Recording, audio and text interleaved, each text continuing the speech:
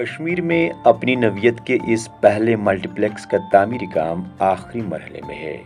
गरमाई दारुल हुकूमत श्रीनगर के सोनावार इलाके में बनाए गए इस सिनेमा हॉल का ये स्क्रीन बहुत जल्द बॉलीवुड फ़िल्मों से जगमगा उठेगा। और इसी माह, यानी सितंबर के आखिरी हफ़्ते में यह आम लोगों के लिए खोल दिया जाएगा। जदीद तर्ज पर बनाए गए इस मल्टीप्लेक्स में तीन बड़े ऑडिटोरियम्स हैं, जिनमें 500 से जायद लोग एक साथ फ़िल्मों का मुशाह कर सकते हैं। ऑडिटोरियम्स में Atmos Dolby digital sound system लगाए गए हैं। सिनेमा हॉल को मजीद जाजबी नज़र बनाने के लिए कहीं कहीं पर कश्मीरी दस्तकारी के दिलकश नमूने भी देखने को मिल रहे हैं, जबकि ऑडिटोरियम्स के बाहर फ़ूड कोर्ट रखे गए हैं। मल्टीप्लेक्स के मालिक, जो एक वक्त में ब्रॉडवे सिनेमा के मालिक हुआ करते थे, कहते हैं कि कश्मीर में सिनेमा का अहिया ज़रूरी है, ताकि यहाँ के लोगों, खासकर नौजवानों को तफरी का मौका फराहम किया जा सके। करना चाहते वो कल्चर। जो पहले था। हम चूँकि पहले ब्रॉडवे सिनेमा चलाते थे तो एक इमेज बन गई थी ब्रॉडवे सिनेमा की। ब्रॉडवे सिनेमा का शाम का सात बजे का शो अंग्रेज़ी का शो होता था। और उसमें लोग फिर बड़े ड्रेस होके आते थे, एक सोशल गैदरिंग में हो जाती थी। तो कोशिश यही है कि वही रिवाइवल फिर से दोबारा हो। और सिनेमा रिवाइव करना कश्मीर के लिए ज़रूरी है, कश्मीर की यूथ के लिए ज़रूरी है। क्योंकि वो भी तो उनको भी तो ये एंजॉय करना चाहिए। यहाँ के यंगस्टर है उसको वही फैसिलिटी मिले जो उसको जम्मू या दिल्ली में मिलती। है पर्सनली मैं समझता हूँ कि ऐसी चीज़ होनी चाहिए थी पहले। हम्म। मैं मैंने कहा कि मैं बिज़ी था बीस साल मैं तब भी दस साल पहले होना चाहिए था। पिक्चर आके देखिए और एंजॉय कीजिए।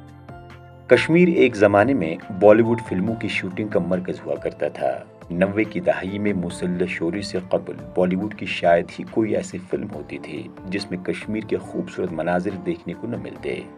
यही हाल, कश्मीर में मौजूद रिगल, नीलम पलेडियम ख़याम, नाज, फिरदौस और ब्रॉडवे वगैरह सिनेमा घरों का था। जहाँ हिंदी फ़िल्मों की रोनमाई होती और यहाँ के लोग बड़े शौक से फ़िल्में देखते थे। मुसल्ला शूरी शुरू होते ही ये सिलसिला बंद हुआ। लेकिन अब धर खानदान इस नए तर्ज के मल्टीप्लेक्स से न सिर्फ़ बॉलीवुड और कश्मीर को जोड़ने की कोशिश कर रहे हैं, बल्कि यहाँ सिनेमा की भी वापसी कर रहे हैं।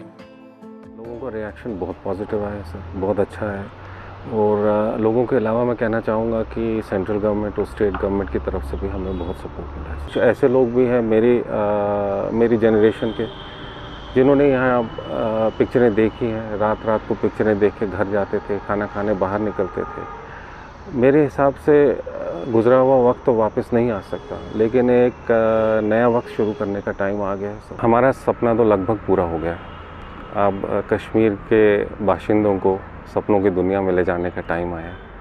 आइए सर, जब जब शुरू होगा, आइए प्लीज़ एक पिक्चर देखिए, अपने लिए जज कीजिए, हमने अच्छी चीज़ की है। तीन दहाई से जायद अरसे के बाद कश्मीर का ये पहला मल्टीप्लेक्स होगा, जो न सिर्फ़ बड़ों के लिए तफरी का मरकज बन जाएगा, बल्कि बच्चों की दिलजुई के लिए भी यहाँ खास इंतज़ाम किए जा रहे हैं। सिनेमा हॉल के टॉप पर बच्चों के लिए हाईटेक गेमिंग जोन कायम किया जा रहा है, जो कि जल्द ही तैयार होगा। की सिनेमा घर के खुलने पर वादी कश्मीर के फ़िल्म साज और फनकार अपनी खुशी का इजहार करते हुए कहते हैं कि ये एक अच्छी पहल है। हो सकता है कि इससे दोबारा नब्बे की दहाई से कबल का दौर शुरू हो जाए।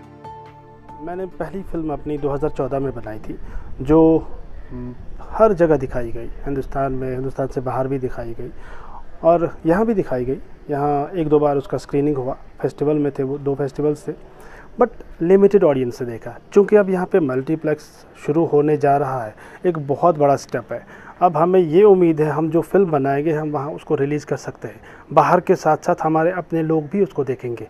तो ये तो बहुत खुशखबरी की बात है। हम ये चाहेंगे कि और भी डिस्ट्रिक्ट्स में मल्टीप्लेक्सेस खुले, ताकि जो यहाँ के फ़िल्म मेकर्स हैं, वो फ़िल्में बनाना शुरू करें और एक इंडस्ट्री यहाँ पे ग्रो। ऐसे में अब इस सिनेमा घर के कायम होने से यहाँ के तकरीबन 60 नौजवानों को रोज़गार फराहम हुआ है और आने वाले वक्त में मजीद लोगों को रोज़गार हासिल होने की तो है। इनॉक्स वादी कश्मीर का न सिर्फ़ पहला मल्टीप्लेक्स होगा, बल्कि बच्चों के लिए पहला जदीद तफरी मरकज भी। इस सिनेमा हॉल में 500 से ज़्यादा लोग एक साथ फ़िल्म देख सकते हैं, जबकि बनाए गए इस जदीद सिनेमा हॉल की खूबसूरती को मजीद बढ़ाने के लिए कश्मीरी दस्तकारी, ख़त्मबंद और पेपर माशी को भी इस्तेमाल में लाया गया है। आने वाले वक्त में ये देखना होगा कि दर ख़ानदान की ये कोशिश कितनी बारावर साबित होगी और नवे की दहाई के बाद लोग इस सिनेमा हॉल की तरफ़ किस तरह की दिलचस्पी दिखाते हैं। परवेजुद्दीन ई भारत, श्रीनगर।